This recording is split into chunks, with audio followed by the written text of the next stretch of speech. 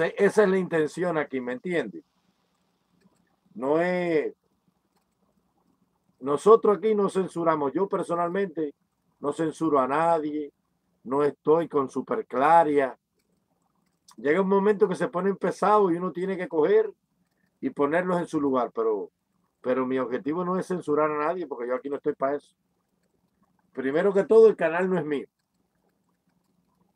El canal no es mío. Y segundo, mi intención no es imponerle mi criterio a nadie. Cada cual piensa, cada cual piensa y actúa de la manera que quiere. Al final, el pueblo de Cuba le va a pasar la cuenta a la superclara. Al final, el pueblo de Cuba le va a pasar la cuenta.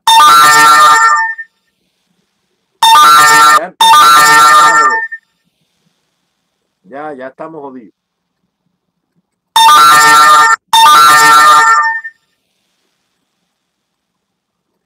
Juniel Batista. Juniel estaba perdido. ¿Qué gente está en la calle, Juniel? Juniel, eh, por favor, eh, actualízame de la información, porque que yo sepa, la gente estuvo en la calle ayer, pero ya, ya la rebelión terminó. A ver, actualízame, porque yo no sé lo que está pasando. Yo no he visto las redes sociales. ¿Hay en este momento alguna rebelión en Cuba en este momento o no? Por favor, Montecristo. Emilia, ¿hay alguna persona que te pueda confirmar que hay una rebelión en este momento en la calle?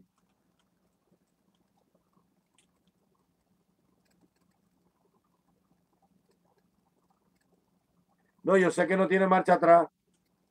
Juniel, ¿dónde tú estabas metido? Miguel García, saludos desde tu ciudad de Manzanillo. Ah, tú, tú, eres el que está en Manzanillo, ¿verdad que sí? Ven acá, ¿cómo está aquello por allá? ¿Cómo está el Celia? Dicen que el Celia está destruido, ¿verdad? Tan buen hospital que era el Celia, caballero. Acabaron con el Celia Sánchez. Tremendo hospital que tenía Manzanillo. ¿Qué clase de hospital era el Celia, caballero? Primer mundo. Un hospital del primer mundo era mejor el CELI era mejor que el hospital de Bayamo, imagínate.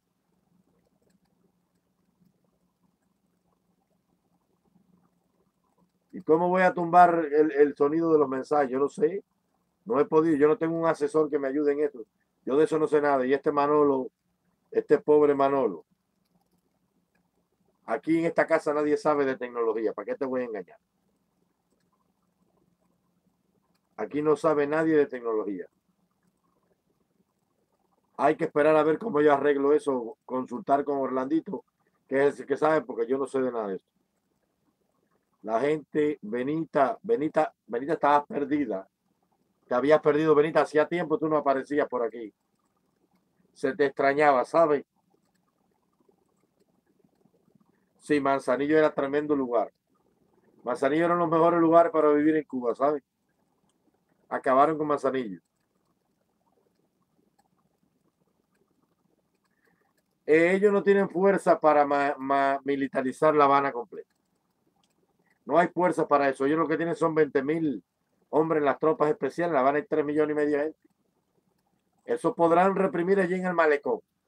Pero en el resto de... Si la protesta se hace barrio por barrio, ellos se la ven negra.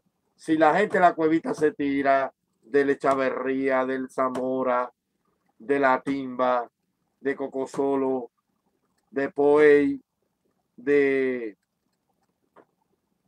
del Capri, si la gente se tira barrio por barrio de, de La Palma, de la Víbora, ellos no pueden hacer nada. Porque van a reprimir en un lado y en los otros que van a hacer. Sí, la glorieta de Manzanillo es la más bella, es la más bella glorieta del mundo. Más, más linda que la de Cienfuegos. La glorieta de Manzanillo está hecha en un estilo morisco que es una belleza.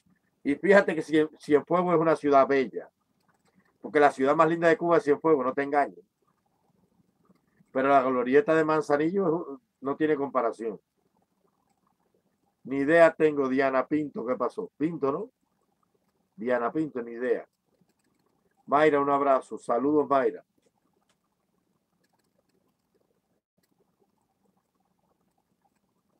A ver qué pasó, que me escribió alguien aquí.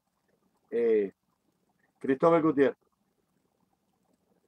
Usted aparenta ser un adoctrinador de mentes débiles. Bueno, pues estamos esperando que usted abra un canal que es de mente fuerte para que no, para que luche contra los que adoctrinamos. Es sencillo. Usted coja, abra un canal usted. Yo siempre le digo a ustedes lo mismo. Es que comunicar es un arte y todo el mundo no nació con el arte de comunicar.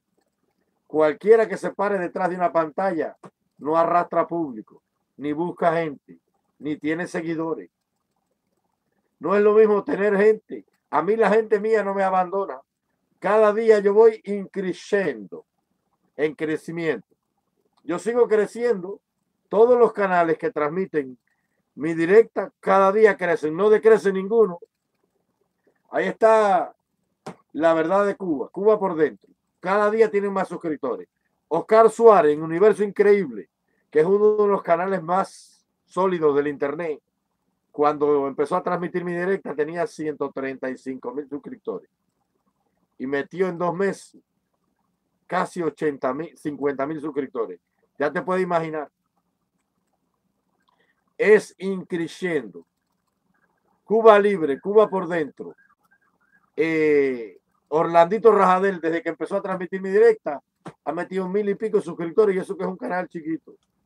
Entonces, algo hay, tenemos algo que no necesariamente es tu opinión, porque tenemos miles de personas que nos dan un visto bueno de aceptación, excepto tú que eres una papa podrida en el saco. Por lo tanto, tu criterio te lo respetamos, pero no tiene peso frente a las miles de personas que sí tienen un concepto positivo de nuestro trabajo y de nuestra persona, ¿ok?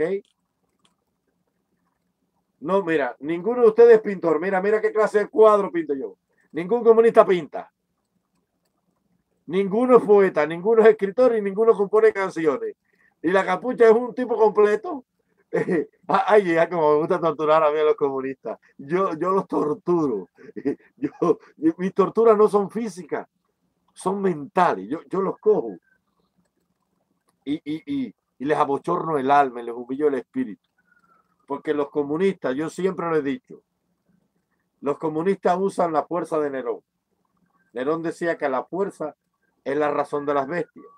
Y por eso ellos se comportan de esa manera, porque son bestias irracionales. Ninguno piensa, ninguno crea nada, ninguno produce nada, ninguno es capaz, perdón, pica la nariz.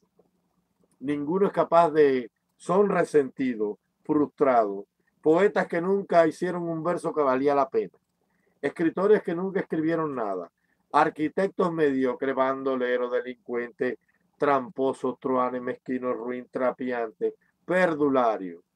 Eso es lo que nutre el pantano del comunismo. Es una mafia, una cloaca, y ahí están todos, no crean nada, no hacen nada. Tienen que sujetarse, reguindarse del éxito ajeno para ellos poder triunfar. Tienen que coger mi directa, los, los detractores míos, cogen mi directa para entonces analizarla para que la gente vaya allí a ver, porque no crean nada. ¿Tú me has visto a mí alguna vez de tu vida utilizando la directa de nadie, una imagen gráfica, un video, para yo comentar algo? Todo sale de la mente de la capucha. ¿Por qué? Porque yo soy un hombre que crea. Porque eso es empírico en mí.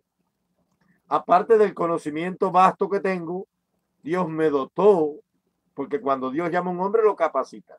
Dios me dotó del don del verbo, del don de la sencillez, de la humildad, de la bondad, del decir, me dio muchos atributos para luchar contra el mal.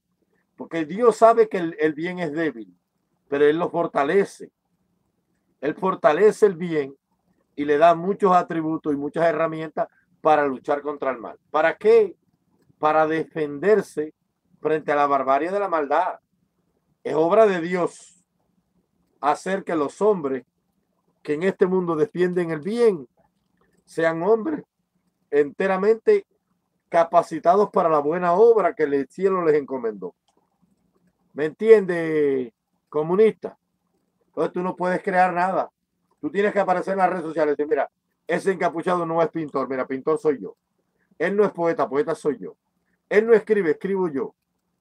Él no compone canciones, canciones compongo yo. Peterson me dio malo que cuando Yotuel sacó Patria y Vida, sacaron tres millones de mamotretos, mamarrachos, yoyo, musicales. Pusieron a policía a cantar rap y nada pegó. A la revolución le quedan 66 mil milenios, nada pegó, porque no tienen creatividad, porque no hay originalidad, porque están vacíos de argumentos. ¿Entiendes? Están vacíos de argumentos. Ya, el barril. Déjame ver que yo estaba pintando un barrilito hoy. El barril. El barril del intelecto se les quedó vacío. ¿Entiendes? Ninguno pegó que va a pegar si nada de eso sirve. Nada pegó. Nadie ve con filo, nadie ve la verdad de Cuba, nadie ve Cuba Debate, ni Cubané, ni nada de eso.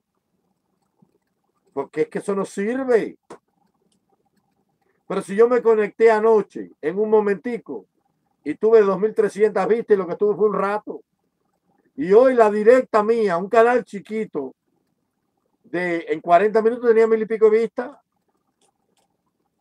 Entonces, y eso que este canal no ha crecido más por el silencio de los otros influencers que hacen todo lo posible por mantener silenciado este canal, o Cuba Libre, o Cuba por dentro, la verdad de Cuba.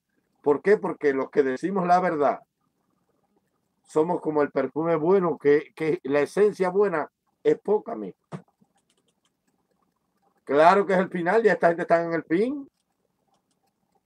Ellos están en el fin, ellos no producen nada. Más temprano, más tarde, Cuba se va a terminar, el comunismo se va a acabar. Cuba no, el comunismo en Cuba. Que de hecho el comunismo ya se cayó. Están en el poder por la represión, pero eso no va a ser eterno. Porque el comunismo está en el poder porque el pueblo de Cuba no está dispuesto a poner 200 mil presos políticos. Cuando haya 200 mil presos políticos, vamos a ver qué ellos van a hacer. Cuando haya 200 mil familias cubanas que tengan 200 mil hijos, padres, hermanos, abuelos, tías, presos. Eh, eh, es el 20% de la población cubana que tiene la familia presa. Vamos a ver qué va a pasar. Vamos a ver qué va a pasar. Eso se acaba si el pueblo de Cuba se dispone a poner medio millón de presos políticos. A ver qué van a hacer. ¿Por qué? Porque déjame decirte algo. Es bueno que ellos repriman y es bueno que los que protestaron ayer vayan presos, porque si la gente no va presa, el sistema sigue en el poder. Lo único que resquebraja el poder es el presidio político. Entre más presos políticos haya, más presión internacional hay y más presión social hay. Y eso cae cuando se empuja desde adentro y desde afuera. Entonces, qué bueno sería que hubiese hoy medio millón de presos políticos. A ver qué van a hacer. A ver qué van a hacer.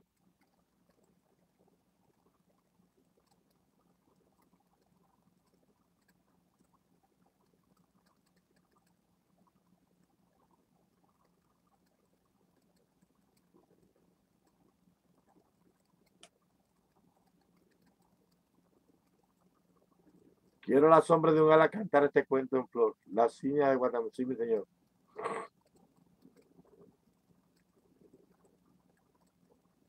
No, ustedes no saben la poesía de Ra que escribí sobre ese tema, que la tengo aquí.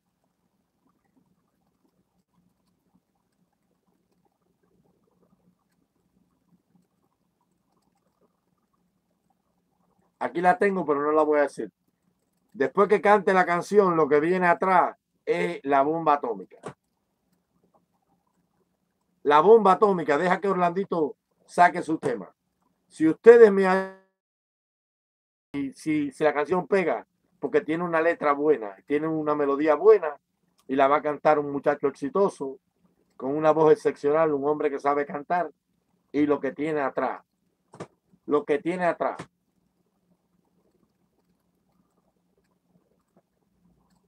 Alberto Cario, eso es un proceso Alberto, eso es un proceso. Te voy a comentar algo, Albertico. En Checoslovaquia, en el año 57, hubo una revuelta enorme. La protagonizó el primer secretario del partido de su época, se llamaba Alexander Dusek. Para que Checoslovaquia fuera libre tuvieron que pasar casi 40 años. Todo al final va a dar su fruto. Todo va a dar su fruto. Parecía que la rebelión había muerto en julio y no murió. Ahí sigue. Más temprano, más tarde, si la, la única manera que los comunistas tienen para quedarse en el poder es que el cubano se vuelva a ilusionar con el sistema. Y para que la gente se ilusione con el sistema, tienen que crearle condiciones de vida a la gente. La gente necesita tener un proyecto de vida y sueño. La gente, el ser humano por naturaleza es inquisitivo y le gusta crear, le gusta tener. Y fíjate, el comunismo es el único sistema que es un absurdo, porque no puede, e, el comunismo no puede combatir con la idea propia del hombre que tiene dentro de sí el sentido de pertenencia. Entonces es una ideología contraria a la sociopolítica mental de un ciudadano. No, no se puede. La gente trabaja porque quiere el beneficio de su trabajo. Y la gente hace una casa porque quiere vivir su casa. No quiere hacer una casa para que otro la viva. No quiere tener una mujer linda para que otro se acueste con ella. No quiere arar la tierra para que otro se coma el fruto de su trabajo. Entonces el comunismo es todo eso. Por lo tanto, más temprano, más tarde, filme la gente, no filme, de palo, no de palo. Al final el sistema es una caña hueca y cascada. Ya la caña tiene comején, tiene carcoma dentro. Ya, aunque fumiguen la carcoma, ya la madera está roída por dentro. Ya está comida la madera. ¿Me entiendes? Aunque tú mates la termita, el comején, perdón, el comején, que no tiene nada que ver con la termita, aunque tú mates el comején, ya la madera está carcomida. El peor enemigo del comunismo es la realidad, es el hambre, es la miseria. Todo lo que digamos nosotros es efímero frente a la realidad. La realidad de un sistema que, oiga, mire esto, mire para acá. Esto es un lujo del comunismo. Esto es un lujo en el comunismo. ¿Qué cosa es esto, caballero? Miren, un simple pedazo de papel. Una cosa que no cuesta nada producirlo. El papel sanitario no vale nada en el mundo. Yo compro el suavecito, que es el que, el que más se usa aquí. Se llama suavecito. 12 rollos valen 108 lempiras. Vienen siendo 3 dólares y pico. 4 dólares, no llega a 4 dólares. 12 rollos. Eso no vale nada. Ni eso tienen. Eh, eh, eh, el comunismo, yo, yo, yo no sé qué defienden los comunistas. Mira, voy a hablar, voy a hablar, que me perdonen las mujeres que están ahí. Voy a hablar hoy en un lenguaje coloquial que la gente me entienda. Comunismo es una tortura hasta ver las reglas. La mujer con aquello pelado, porque no puede ponerse una cosa de... Tú quieres ver algo más sensible que las partes íntimas de una mujer. Una cosa que tiene que tener unas características propias de ella para el aseo, para el olor, para la comodidad de las partes. La, la, biología reproductiva de la mujer es distinta al hombre. El hombre es cerrado, la mujer es abierta. Todo, todo el aparato reproductor y de la mujer está cerca una cosa de otra. Necesita productos especiales para que la vida sea digna. La mujer tiene que hacer pipí y tiene que tener toallitas con olor, porque todo eso se genera cosas desagradables. Eh, es una tortura en el comunismo. Tú te imaginas una capitana de la policía el día entero en una nauseabunda eh, eh, eh, habitación de esa ahí, en una, en una estación de policía esa caliente, sin aire, llena de polvo, con aquellas paredes impregnadas en churre, en hollín, en mal olor, en el vaho de las personas, cuando aquella cosa le empieza a las dos de la tarde en un verano a sudar, que vaya a orinar en una taza de un baño mugrienta de esa, amarilla, costrosa, donde no hay ni, no hay pinaroma, no hay polisol, no hay cleorina, no hay decencia, no hay agua, con aquella cantidad de caca allí que, orinó todo el mundo en el mismo baño, con aquella cosa embarrada, sudada. Es una tortura vivir en el comunismo, mi hijo. Es el infierno en la tierra, mi. Eso, eso, eso es una tortura, mi hijo. Vivir en el comunismo es una desgracia. Estéticamente es una basura. Cayó la Alemania comunista. Cayó la Alemania comunista. Y después de treinta y pico años de tanto cacareo, la Alemania comunista producía dos pastas de dientes y mala. Me acuerdo que mandaban una cuba que aquello no había que se lo metiera. Era una cosa borronosa, con una cantidad de menta picante que aquello que se lo espantara. Una pasta roja grande que vendían en Cuba, que era mejor la perla que esa basura. Y una moto, lo único que producían era una moto. Una moto ETS 250 y un motorcito más chiquitico, era lo único que hacían. Y la otra era la primera potencia industrial del mundo, prácticamente.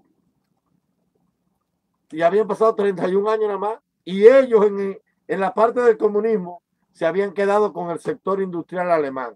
Porque en la parte del comunismo se había quedado el sector militar industrial. Por eso Stalin desarmó todas las industrias que había en Europa, en Alemania Oriental, y se las llevó para Moscú para sobrevivir, porque ellos no tenían nada. Stalin producía con las plantillas que le dieron los americanos en la frontera con Turquía. Le dieron los blogs de todos los camiones americanos. Y esos camiones rusos eran los mismos Studebaker y los por americanos. Por eso al Jeep igual le servían las piezas de Chevrolet y viceversa, porque eran las mismas plantillas que se la dieron los americanos escondidos, porque Stalin había fusilado al sector industrial y allí no había ni, ni, ni, ni un taller de fundir latas de aluminio, allí no había nada. Hasta estéticamente el comunismo es peor que el capitalismo.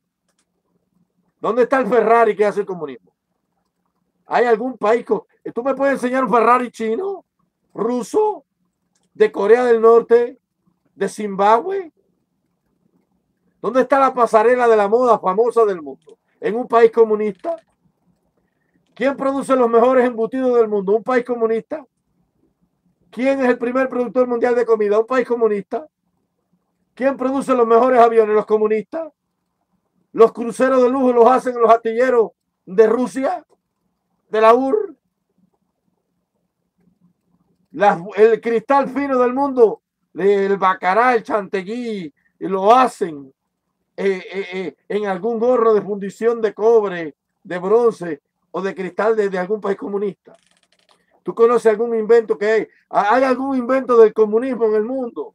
Ellos inventaron el papel sanitario. ¿Qué inventaron los rusos? A ver, ¿qué, ¿cuál es un invento ruso? De relevancia mundial. Chino. El mentolito chino. No, pero el mentol chino lo inventaron los chinos antes que fuera comunista. Eso viene de hace 5.000 años, de la, dinastía Ming. Y el, y el papel lo inventaron los chinos hace 4.000 años, el papel moneda, y la pólvora, y el astrolabio, y la bruja. Todo eso lo inventaron los chinos en una sociedad libre. ¿Qué han inventado los comunistas? ¿Quién inventó la radio? La inventó un ruso, pero no era comunista. ¿Qué, han hecho los comunistas? ¿Quién inventó el automóvil? El teléfono. ¿Quién descubrió la forma de generar corriente, la bombilla, el filamento? ¿Quién es el padre de la física eh, cuántica? Creo que es Paul, Paul, Paul, Puck, Paul, Paul, de apellido alemán, si mal no recuerdo. Creo que es el padre de la física cuántica, sí. Paul, Paul, Paul, no sé, algo así, no me acuerdo muy bien, lo vi hace muchos años. ¿Qué han hecho los comunistas? 100, millones de muertos, destruir a todo. Donde quiera que el comunismo llegó, acabó con la sociedad.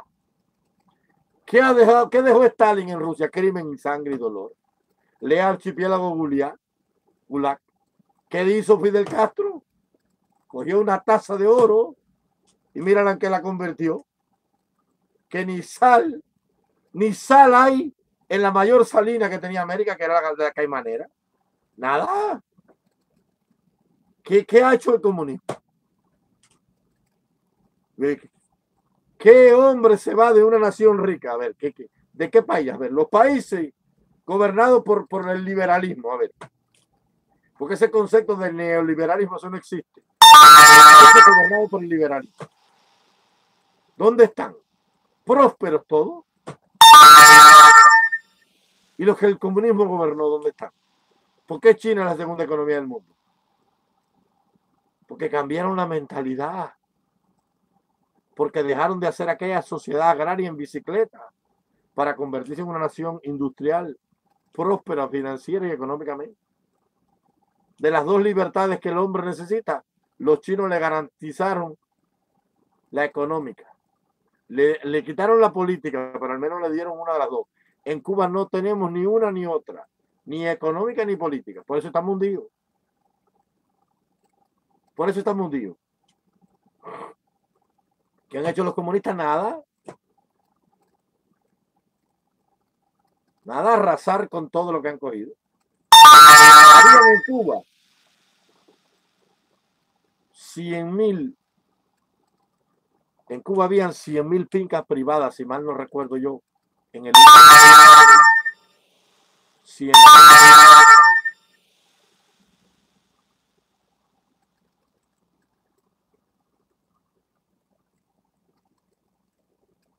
habían 100 mil fincas. Era parte del latifundio. Todas prósperas, productivas. En ninguna había maleza. Todas producían. Y hoy, hoy todas son de un solo hombre, están llenas de maracuyá improductivas todas. ¿Quién es el causante de la desgracia en Cuba? Y ahora les va a pasar factura porque los campesinos que quedaban en Cuba, que tenían reales, se fueron todos en el éxito grande ese de 400 mil cubanos. Yo no sé en el 2024 qué va a comer la gente. Porque te voy, a, enseñar algo, yo que soy guajiro. Yo te voy a enseñar algo que tú no sabes. El platanito que se están comiendo hoy, el burrito, fue el que dejaron esos campesinos sembrados. Te voy a enseñar que el, platanal tiene el, en el plantón del plátano está el, el que tú siembras viene el hijo y el seguidor. Y después entonces viene eh, el rebrote de los hijos, donde ya el platanal empieza a echar hijos por todos los lados y pierde la calle y el, y, el surco, como se conoce en el plátano. Cuando el platanal empieza a echar plátano por todos los lados, que tú no puedes mantener la estructura del surco y de la calle, el platanal comienza a mermar. Y en cuatro o cinco años el burral se destruye y se destruye automáticamente el platanal. ¿Y entonces qué van a comer? ¿Qué va a comer la gente? Porque la única vianda que, garantiza todavía algo es el ponguito ese que venden en Cuba, el burrito ese. Y cuando eso se acabe, ¿qué van a comer? Hay una hambruna pronosticada, pero grande, para el 2024, que la capucha te la va a pronosticar. Y ellos están todavía, tienen opciones de salvarse. Ellos se pueden salvar si sueltan la economía. Si ellos sueltan la economía, tal vez aguanten un poquito más. Su destrucción es inevitable, pero puede que aguanten un poquito más. Ahí están, el mar de Cuba está lleno de, de peces. Si ellos dejan que la gente coma lo que hay en el mar, entonces tal vez aguanten un poquito más. Pero de que se van, se van. Y vamos a ver cuando Raúl Castro muera. Y te voy a decir algo que tú no sabes. Biológicamente, Raúl Castro ya hace 21 años que está de merma y baja. Tú sabes que el ser humano está diseñado para vivir 70 años. La Biblia lo dice. 70 son los días del hombre y 80 los más robustos. El corazón está diseñado para latir 70 años. De ahí para allá es obra y gracia y misericordia divina. Y Raúl Castro en cualquier momento, ahí solito, solito, andando normal ahí, el corazón le hizo pausa y se la apagó. O tú no lo sabes. Te voy a explicar cómo murió abuelo. Abuelo Bartolo tenía 92 años. Y andaba normal como Raúl Castro así. Un viejito con una salud de hierro, nunca fue un médico a nada. Y un día cogió a, a Paloma y Pajarito. Él le gustaba arar. Él tenía un sitio que él siempre araba y él sembraba ahí. Un ya estaba viejito, pero él sembraba un maicito siempre. Eh, no sé, mil, dos mil plantoncitos. Iba con, con la guataca por la tarde, tiraba, hacía dos carreritas a lo largo del día. Él se entretenía, estaba vivo el viejito. Ya Abuela Caridad había muerto hace un tiempo. Y él tenía, eh, mi madre tenía un buen chalet. Eh, ellos hicieron casa bueno para todos. Pero él le dijo a, a mi mamá, mija, eh, eh, déjame, eh, déjame allá en la casita, dame una casita de guano. ¿Sabes cómo eran esa gente campo? Y allá él tenía su casita y por la noche alguien se quedaba a dormir siempre con él. Estaba cerca de la casa, como a 6 o 7 metros, pero en la parte atrás una casita de guano de madera con un piso de cemento muy fresca, que fue la casa que siempre tuvieron ellos. Se levantaba por la mañana mi tío Ramón le, le, le enyugaba los bueyes porque allá no tenía casi fuerza para, para, para las coyundas y las madrinas, porque en los frontiles el buey ala, el buey tiene que dar un cabezazo, ya estaba viejito. Tiraba tres o cuatro surquitos, un aradito chiquito para que tú sabes, pues se entretuviera. Y un buen día salió para allá por la mañana. Y mi madre siempre le ponía el cafecito en un, en un jarrito de aluminio de esmalte, que, de esmalte aquellos que venían de casa de unos jarritos de esmalte. En unas brasitas siempre tenía un, un, un cafecito calentito. Y él cogía su tabaquito, lo torcía. Y a las nueve de la mañana mi mamá fue y le llevó el cafecito y un tabaquito, se lo fumó. Estaba sentado bajo una guasimita. Y mi mamá vino. Como a la media hora dice, mamá, ¿qué pasará que papá no, no a los bueyes? Cuando fue para allí, estaba con la cabecita tumbada hacia la orilla de la guasimita. Cuando lo tocó, soltó el grito y ya estaba muerto. En media hora se le murió. Se, le, se sentó a fumarse su tabaquito, a tomarse su cafecito, con su, con su botica llena de tierra, como siempre vivió, en su tierrita, con su olor a tierra arada, se, se sentó el viejito y se apagó como, como una velita que, que, el viento de la vida apaga, apaga su terno de llama. Cualquier momento Raúl Castro sentado, normal y hablando, la máquina la ha aceptado y ahí mismo quedó. 92 años vivió Bartolo. No, él fumaba un tabaco bueno que él sembraba. Él siempre cosechó el tabaco, nunca usó químico para su tabaco. Usó, el cigarro es el más malo, pero el tabaco, el tabaco, tabaco, como se lo fumaba Bartolo, eh, no, no hacía mucho daño. Hace daño, pero no en esa proporción. Y, y cualquier día nos dan la noticia que nuestro querido general murió. Y cuando el general se muera, vamos a ver cuando vayan a repartir el pastel, porque ahí todo el mundo quiere hoteles y, y, y, y no hay hoteles en Varadero para todos ellos, y todos quieren hoteles en Varadero o en Los Cayos, y todo el mundo quiere de la tajada porque están los hijos ahí y vamos a ver qué vamos a cómo vamos a tocar. Y ahora va a venir la lucha entre los militares y Canel que no tiene historia militar ninguna Vamos a ver cómo vamos a tocar. Vamos a ver cómo vamos a tocar. Ah, vamos a ver. Cualquier momento el Granma nos sorprende con las noticias. Que ha muerto el líder histórico de la Revolución Cubana. ¿Me entiende? Vamos a ver qué pasa se van a, a esguazar, se van a esguazar como hienas entre ellos. Vamos a ver qué pasa. Yo no quiero nada, yo nada más quiero que me den a Randy y a Humbertico. Yo no quiero más nada. Yo el último, el, el, eh, el, único acto de violencia que yo voy a ejercer en mi vida es coger a Randy y a Humbertico para cortarles la lengua con un vidrio. Yo sigo siendo el mismo guajiro de siempre, les voy a enseñar la comida que Manolo me, que me hice yo hoy, porque Manolo no le gusta cocinar mucho. Mira, Miren esto, miren. Miren, acabo de comer, lo tiré ahí en el piso, miren esto. ¿Están viendo aquí? Eso es plátano, fufú de plátano burro con una tortilla de huevo hecho con leña. Esa es mi comida. Ahorita yo lo primo, mamá. Esa es mi comida. Un poco de plátano burro pilado con una tortilla de unos huevos que compré hoy en, en una colonia por allá que me, una señora estaba vendiendo huevos criollos. Burro pilado con una tortilla. Entonces, ¿tú crees que yo soy hombre de estar buscando aquí like y y nada, no? Yo no estoy en eso. Soy un guajiro de pura cepa, patriota cubano martiano y con un alma pura que todavía el dinero no lo ha corrompido ni el deseo de tener nada. Eso fue lo que yo comí hoy.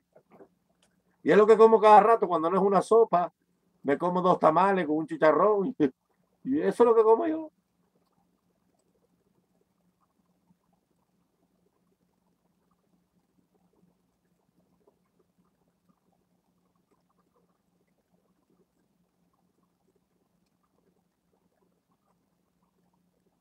Exacto, Janet.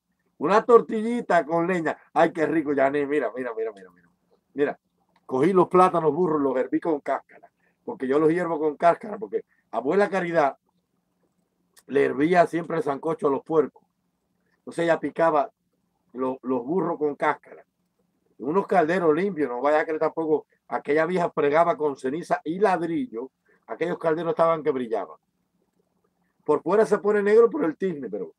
Y ella se ponía a hervirle la comida a, a unas lechoncitas que siempre tenía. Y yo cogía y sacaba eh, aquellos trozos de plátano burro y me los pilaba, ella me los preparaba con, eh, con manteca de puerco y en pella, y tita. Y, yo me acuerdo todos los días en mi vida de mi abuela. Y es una vida sana. Sí, sí, eh, lo mismo lo mismo el carbón que la leña, cualquiera de las dos es buena. Me pica la nariz.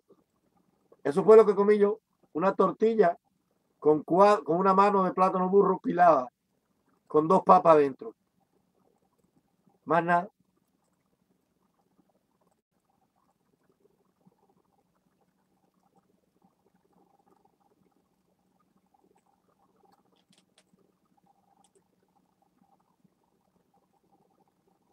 El, ñame es riquísimo. En la finca de mi abuelo habían, hay tres tipos de. De ñame. Está el ñame cimarrón, que nace por, por las cañadas, tú lo sacas un ñamecito así como, como una malanguita. Está el ñame blanco, que es el grandote. El ñame blanco grandote está el ñame amarillo, que es un poco más chiquito. Eh, eh, mi abuelo Bartolo cogía y se iba para, para, los, para los potreros donde estaba la piña de ratón.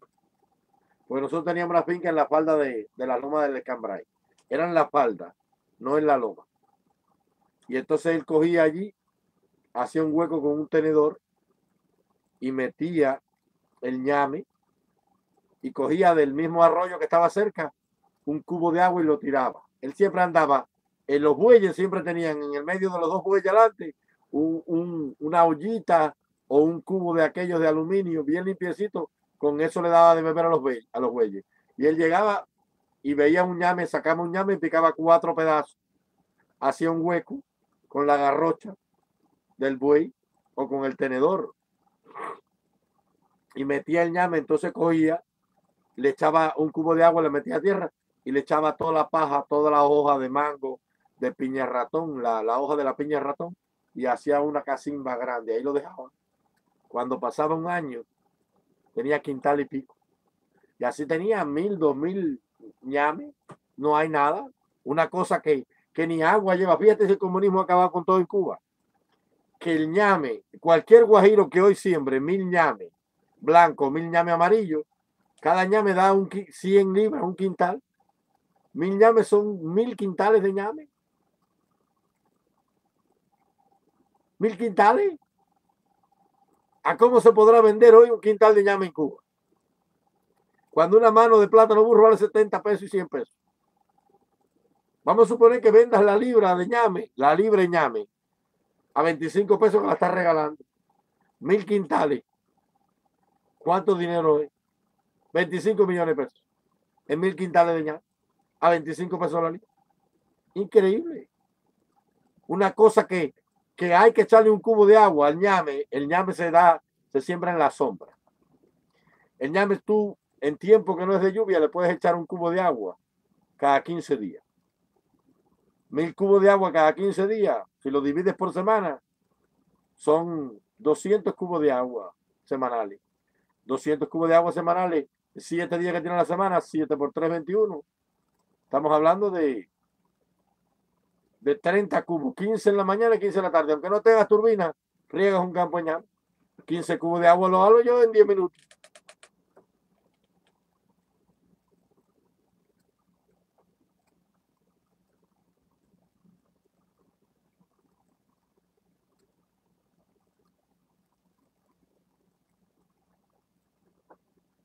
así como lo oyen y así como lo ven. Y las clarias como están, que ni, ni ha atendido los mensajes de las clarias hoy.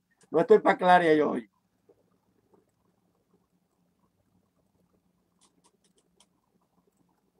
Orlandito está ahí conectado. Yo no sabía ni que Orlandito estaba ahí. Orlandito, ¿estás ahí?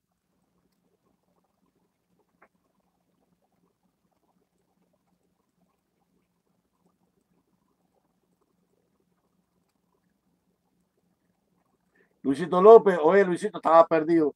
Luisito nos ha abandonado de una manera tal. Estás perdido, Luisito.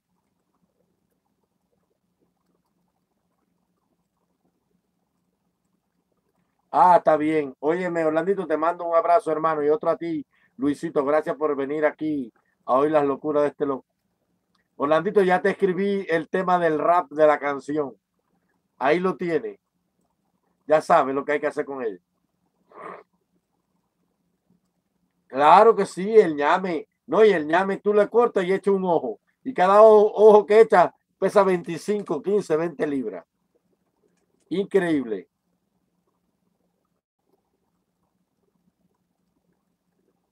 Yo no sé, hoy no he atendido a las clarias. Yo no he atendido a las clarias. Ah, está almirante Manolo también. Un saludo para ti, almirante Manolo. Y para tu esposa Julie. Espero que el niño sea mejorado.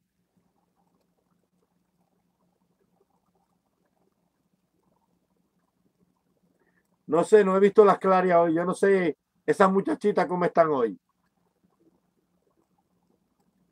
Ah, el quimbombó se daba alabado. Oye, el quimbombó se daba solo en los potreros. No hay ni quimbombó. Las guardarrayas de caña. Yo recuerdo yo recuerdo que mi prima Elaine y yo, una vez, había un haitiano cerca de donde nosotros vivíamos y él tenía un campo de quimbombó. El haitiano come mucho quimbombó. Y se llamaba Rápidos. Le, decían Rápido. Él era zapatero. Y mi prima Elaine me dijo, vamos a ir allá a recoger un poco de muñeca. Era una muchachita, tenía como cinco años. Recoger muñeca eran mazorcas de maíz tiernita que estaban echando la pelusa. Y fuimos para allá y recogimos un saco de, de mazorca maíz tusa de aquella. Y, llegamos a la casa con un saco al hombro, los dos que no podíamos con aquello. Alando, arrastrándolo. Cinco años tenía el aire y yo como siete, ocho. Y fuimos con mi primo yo tres, que era un poco más grande. Y alamos aquel saco de, de muñeca para la casa. Y cuando llegamos a la casa con aquel saco de muñeca, que el aire le dijo, abuela, mira, trajimos un saco de muñeca. Aquella mujer le quería dar. Fue para allá a ver al haitiano y le dijo, oiga, rápido, yo, yo ahora cuando esté el maíz nosotros, se lo voy a pagar. Y dijo, no, no se preocupa, eh, las muchachas son así, no sé qué cosa. Y dice abuela, bueno, y sembró Quimbombó, dijo, vaya al campo Quimbombó. Oiga, y cuando pasamos para el lado ya del maíz, estaba el Quimbombó Sato. Fíjate si el Quimbombó se daba solo en Cuba.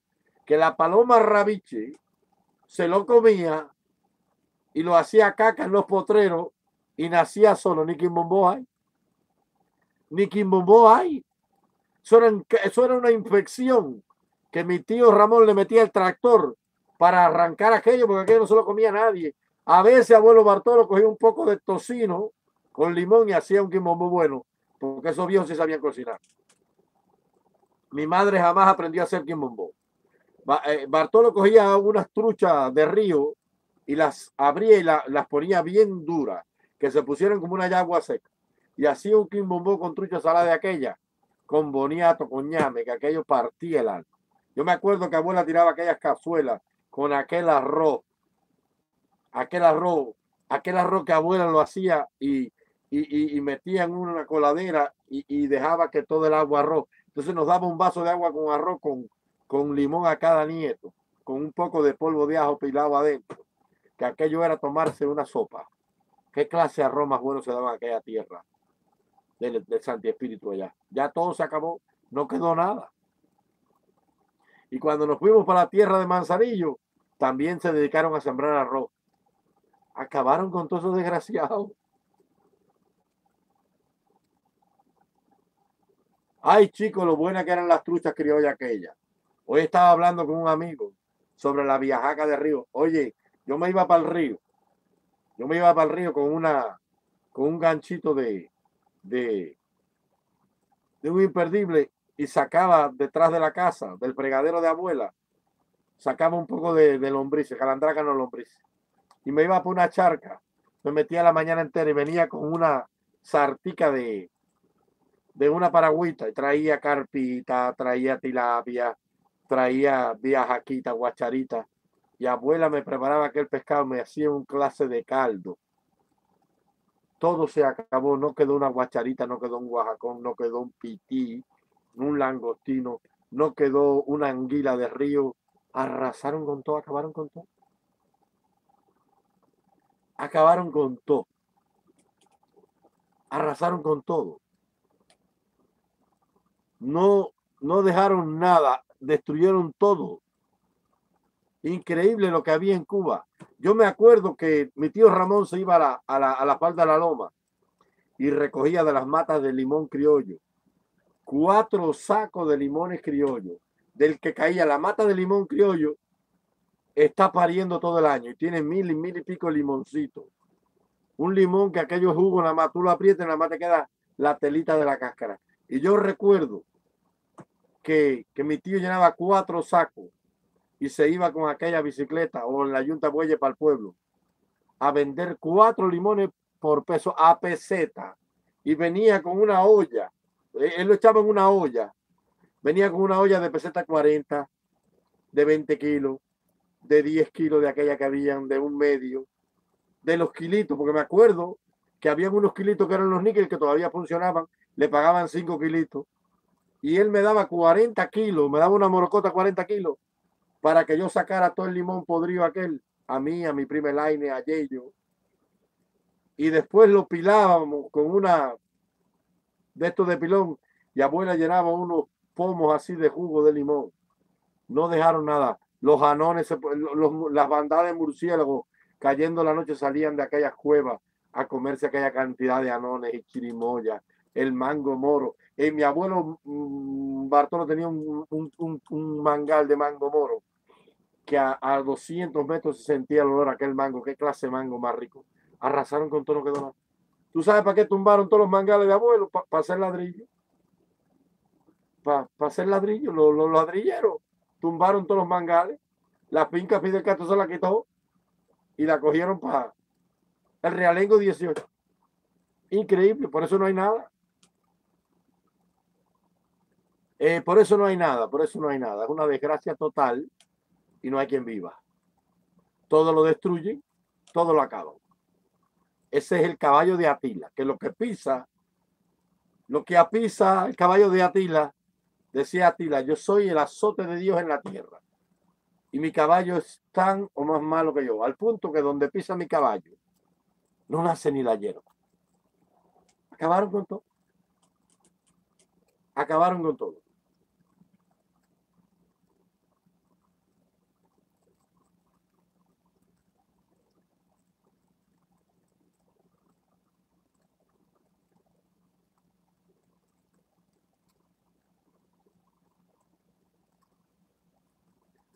Muchachos, si yo no me acuerdo, yo solo estaba contando a ustedes, yo tuve una, yo tenía una novia.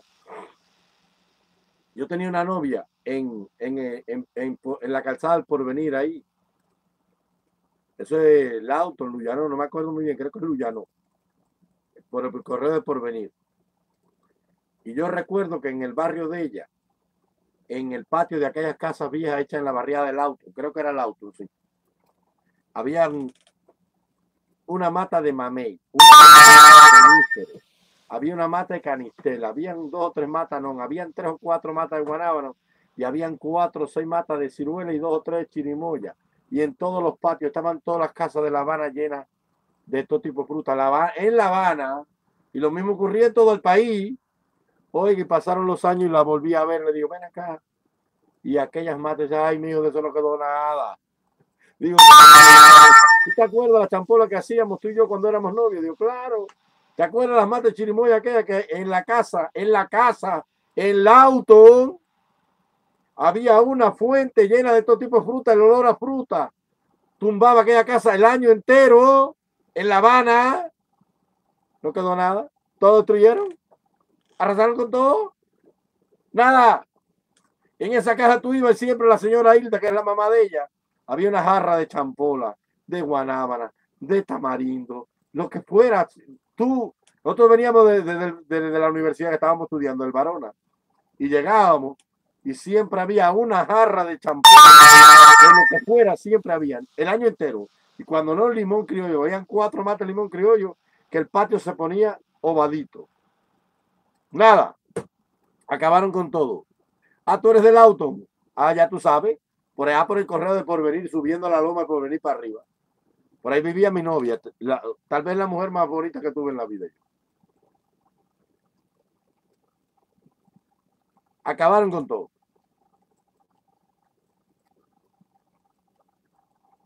Chacho, champola no. Es que cuando Canel dijo que el limón era la base de todo, yo me reía de la gente, porque es que yo me acuerdo que yo llegaba a mi casa y, cada vez que tú había el refrigerador, donde único había refrigerador en la casa de abuela, porque los demás hijos eran unos desastrados comunistas.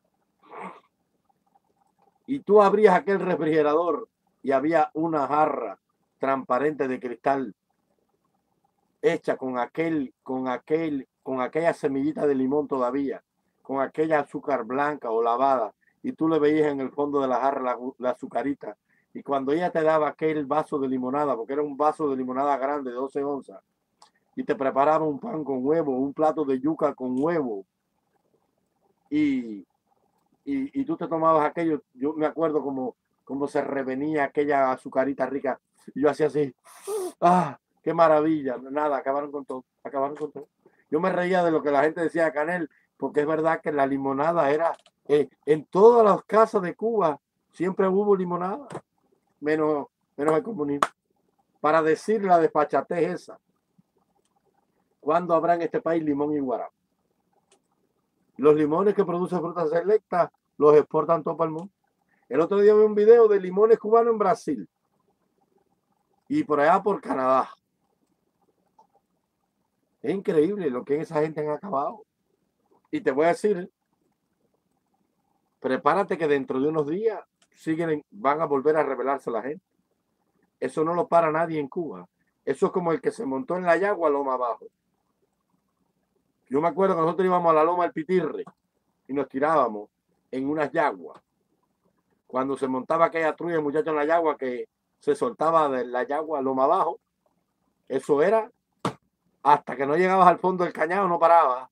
Y, si te, enredaba una pata, prepárate que los, los, mamellones y los, remellones eran terribles. Y lo mismo pasa aquí. Nadie va a parar la rebelión del pueblo de Cuba. No hay fuerza que pueda contener la rebelión de un pueblo. Ya la gente se sacó eso del alma, ya la gente no cree en eso.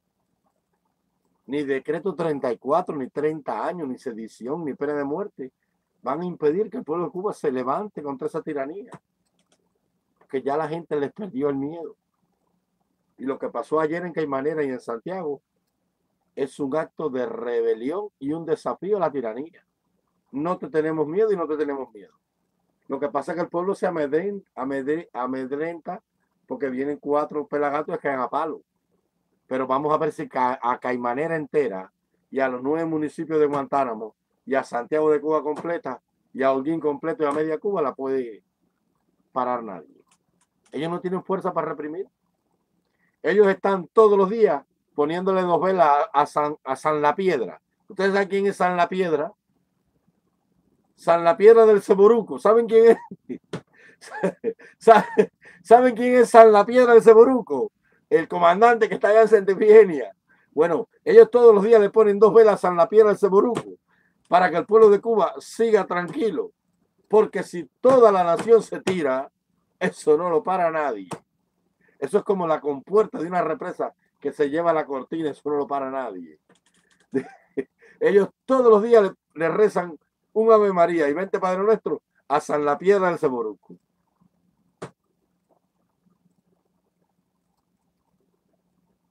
Hoy una caña vale 50 pesos. Libertad, tú estás en Cuba, ¿verdad?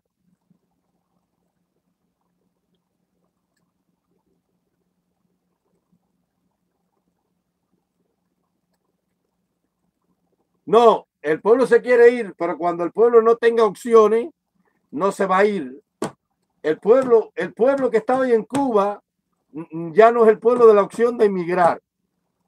El pueblo que está en Cuba hoy sabe que el parol humanitario es una trampa para tenerlos allí en el duérmete niño, duérmete ya. Lo que está viviendo el pueblo de Cuba hoy es el pueblo obstinado, ese que ya no tiene opción, ese que está acorralado, que está entre la espada y la pared, que sabe que sale a luchar o perece. Ese es el peligroso. Ese es el que va a tumbar el comunismo. El que no tiene, el que no tiene dónde robar, el que no tiene acceso a los dólares, el que no tiene ningún amparo para seguir viviendo.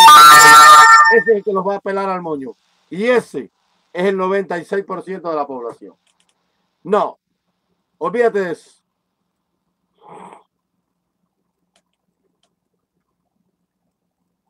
Olvídese de Carola, que Cuba no está sola.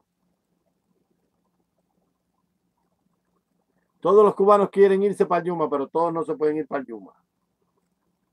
Allí se van a quedar. Si hoy están en el poder todavía es porque la administración norteamericana les abrió las puertas. Si esa gente que salió se queda en Cuba, los tumba. Los tumba. Si malo es el obstinado, peor es el que tiene posibilidades y está amarrado. A llevarte por la capucha que sabe. Si malo es el obstinado, peor es el que está amarrado y tiene recursos. Porque la impotencia lo mata. al obstinado lo mata la frustración. Y al amarrado lo mata la impotencia. Dos peligros, un cóctel peligroso dentro del alma de un ser que piensa. La impotencia y la obstinación.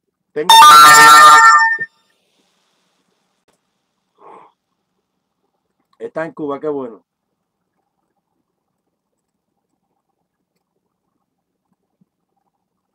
Yo sé que eso está en candela, candela, candela, candela. Por eso, final. Hace falta que se mantenga de ahí para abajo, no para arriba porque si se mejora, se acaba el, único intento de libertad. Y tú sabes por qué el país está así, porque ellos no tienen nada, ellos no tienen absolutamente nada para darle al pueblo. Porque ellos, si tuvieran con qué tener a la gente entretenida, las tienen entretenidas. A ellos no le conviene un pueblo rebelde. Ellos llegaron a un punto de inflexión total.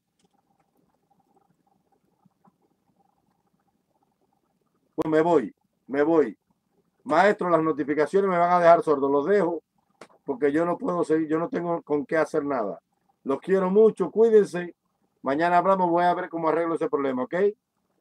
Yo sé, pero yo no puedo hacer más nada. Yo no sé cómo quitarlo. Fue un placer hablar con todos ustedes. No quiero eh, perturbarlo. Buenas noches. Nos veremos mañana si Dios lo permite, ¿ok?